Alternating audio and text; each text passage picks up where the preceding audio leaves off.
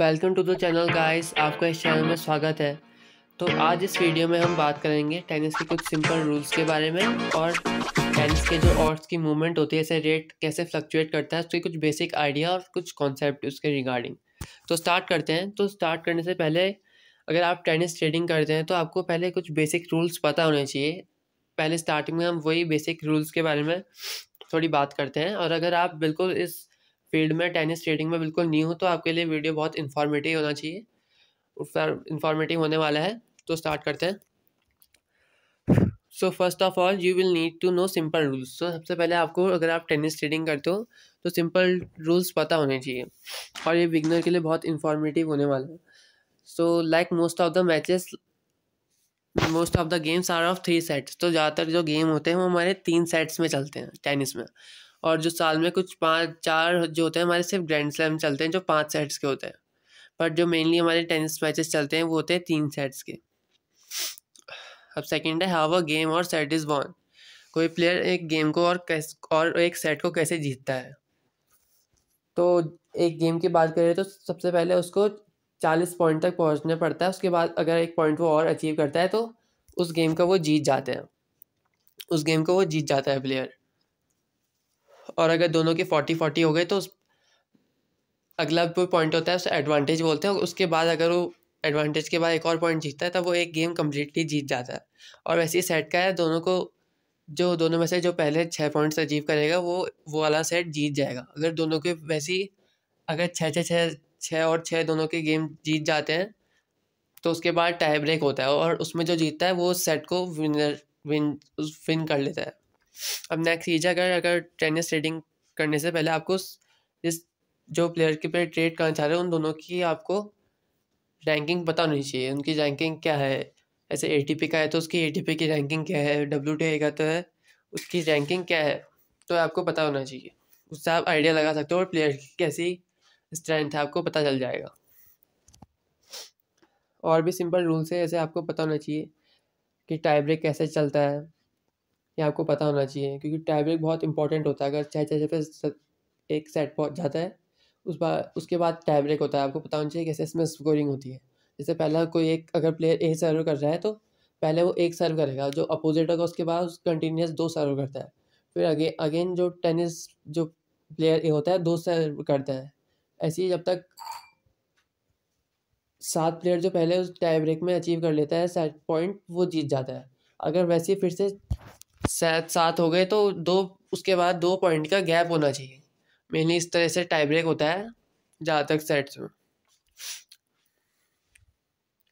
और फिफ्थ चीज़ है you must know simple terms like faults how the scoring work तो आपको सिंपल टर्म पता होना चाहिए, जो कमेंटेटर बोलता है एस फॉल्ट लेट तो आपको सिंपल पता होना चाहिए स्कोरिंग कैसे वर्क करते हैं ज़ीरो फिफ्टीन फिफ्टीन थर्टी जो वहाँ पर गेम के, जो गेम चल रहा होता है, उसके साइड में लिखा होता है तो आपको पता होना चाहिए स्कोरिंग कैसे चल रही है। और अगर आपको नहीं पता है तो आप थोड़े पहले टेनिस मैच की प्रैक्टिस कर लीजिए कैसे कैसे चलता है, उसे देख के एनालाइज कीजिए कैसा होता है। अब है importance of break and serve तो टेनिस का सर्विस और जब और जब ब्रेक आता है तो उसका बहुत इंपॉर्टेंस होता है। अगर सर्व सर्व जो होती है वो ब्रेक हो जाती है तो बहुत ऑट्स का हमें मूवमेंट देखने को मिलता है।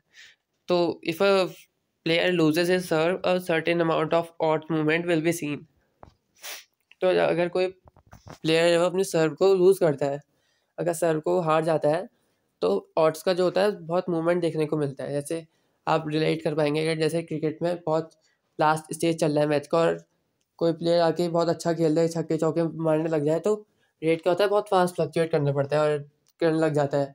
और अगर उस टाइम पे विकेट आ जाए तो अभी फ्लास्ट फ्लक्चुएट करता है। वैसे ही टेनिस में अगर गेम के बीच में अगर कोई गेम हार जाता है प्लेयर तो उस समय बहुत ज़्यादा फ्लक्चुएशन शुरू हो जाता है फ्लक्चुएशन हो जाता है उस, अगर ब्रेक आता है गेम में। ब्रेक वाला वैसा ब्रेक नहीं मतलब अगर टेनिस में अगर सर लूज़ करता है, उसको ब्रेक कहते हैं। अब if a player leads by more than one game in a set अगर कोई प्लेयर खेल रहा है, अगर एक से ज़्यादा पॉइंट से एक से ज़्यादा गेम आगे चल रहा है। मान लीजिए अगर कोई प्लेयर ए है और कोई प्लेयर बी है। प्लेयर एक दो गेम जीता है और जो दूसरा प्लेयर वो चार गेम जीत चुका है। तो उस केस में दो का गेम का डिफरेंस हो जाता है। तो उस गेम उस गेम में जो प्लेयर ए है, उसके जीतने के चांसेस ना के बराबर जाते हैं उस सेट में। तो ये है कि उस गेम में बहुत बहुत उसके नेग्लिजिबल चांस हो जाते हैं। अब how the odds pricing work in tennis और जो प्रेसिंग है, वो कैसे वर्क करती है टेनिस में? So if the price of one player increases and the price of other player will decrease simultaneously तो ये सिंपल रूल ऐसे क्रिकेट में होता है, अगर एक प्लेयर का ऑर्ड्स का जो रेट होता है, वो कम होने लगता है तो दूसरे प्लेयर का वैसे ही रेट जो होता है, वो बढ़ने लगता है। जैसे अगर कोई प्लेयर ए है, उसका रेट ट्वेंटी पहुँच गया, दूसरे का तो सिक्स पॉइंट कुछ होगा। अगर उसका और कम वन पॉइंट वन ज़ीरो पहुँच गया तो उसका टेन के ऊपर पहुँच जाएगा। तो ये सिंपल रूल है। Are close to that odds to like one point seven one point two point zero four inch तो अगर कोई प्लेयर के स्टार्टिंग प्राइस प्लेयर है और प्लेयर बी के ये है कि प्लेयर ए का वन पॉइंट नाइन सेवन है और दूसरे प्लेयर का जो है, वो है टू पॉइंट ज़ीरो फोर तो उससे ये पता चलता है कि दो, दोनों प्लेयर हैं वो। आपस में मतलब ऐसा उनको मार्केट ये समझ रहा है कि उनकी स्ट्रेंथ लगभग बराबर है। मतलब ये मैच थोड़ा क्लोज होने वाला है तो इस टाइप से ऑर्ड्स की सेटिंग इस टाइप से की है, जो बुक में कह रहे हैं उसने तब। As the odd decreases the chances of winning the match increases और जब, जो ऑड्स होते हैं वो डिक्रीज होते हैं तो ऑब्वियसली क्या होता है, जो प्लेयर के जीतने के चांसेस होते हैं, वो ज़्यादा होने लग जाते हैं। वैसे ही अगर ऑड्स के प्लेयर जो है, उस प्लेयर के अगर ऑड्स इंक्रीज होने लग जाए तो उसके चांसेस जीतने के कम होने लगते हैं। बेसिक चीज़ है। तो आपको ये रेट को देख के क्या समझने की कोशिश करनी चाहिए but you have to do so give a close look at the starting price of a player and see how the pricing changes as a match progressive तो आपको जो स्टार्टिंग प्राइस है प्लेयर की, उसको अच्छे से देख लेना है कितनी थी। और ऐसे ही जब गेम प्रोग्रेस करता है, बढ़ते रहता है तो आपको जो प्राइसिंग में मूवमेंट आता है उसको आपको कहीं पर देख लेना है कि कैसे मूवमेंट हो रहा है। जैसे अगर पहला सेट कोई दूसरा प्लेयर जीत गया, एक प्लेयर का रेट है, मान लीजिए यहाँ पर एग्जांपल देख के बताता हूँ। मान लीजिए जोकोविच और रूबलेव का मैच चल रहा है। जोकोविच का स्टार्टिंग प्राइस है one point three six back का और रूबलेव का है थ्री पॉइंट सेवन मान लीजिए पहला सेट हमारा रूबलेव जीत जाता है तो इस केस में मोस्टली जो रेट है वन पॉइंट नाइन के आसपास से रेट पहुँच जाएगा।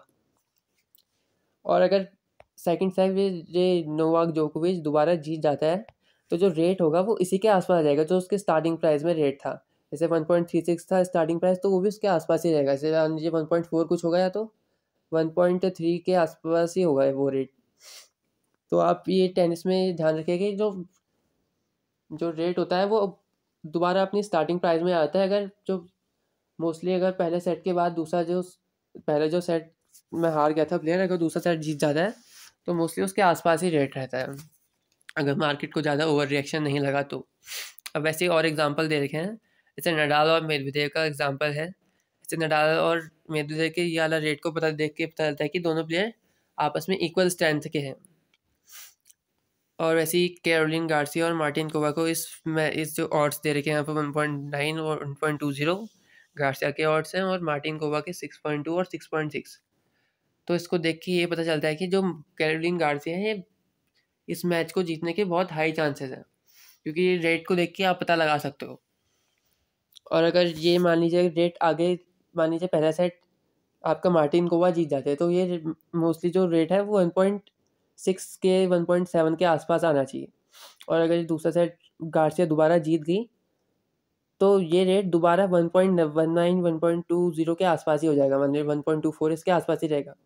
तो आपको ये चीज़ ध्यान रखनी चाहिए जो टेनिस में जो रेट होता है, आपने दोबारा स्टार्टिंग मैच के अगर दूसरा सेट जीत जाए वो प्लेयर तो उसी के आसपास रह जाता है? तो यहीं पर एंड करते हैं वीडियो तो अगर आपको इस वीडियो में कुछ हेल्पफुल लगा हो, कुछ वैल्यू मिली हो तो आपको, आप कमेंट करके बता सकते हैं और अगर आपको कुछ समझ में नहीं आया तो आप कमेंट करके पूछ सकते हैं। तो तब तक के लिए चैनल को सब्सक्राइब करिए और वीडियो को लाइक करिए। तब तक के लिए गुड बाय थैंक यू